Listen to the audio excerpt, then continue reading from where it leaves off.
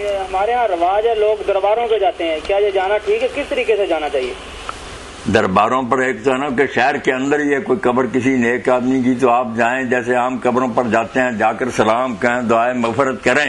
इसमें तो कोई हर्ज नहीं है। दुआ तो मैयत के लिए करनी चाहिए।